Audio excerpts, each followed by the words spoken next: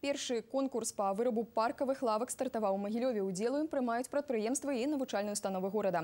На конкурс пададзена ўжо 18 заявак, распрацавана 12 эскізаў. Дзве арганізацыі прадставілі гатовыя вырабы. Вынікі конкурса падвядуць напрыканцы верасня. Лепшыя аб'екты будуць усталяваны ў цэнтры Магілёва. Арганізатары конкурсу нагадваюць, лаўкі можна вырабляць з любога трывалага матэрыялу. Галоўная умова крэатыўны падыход, які б зацікавіў магілёўчан і турыстаў.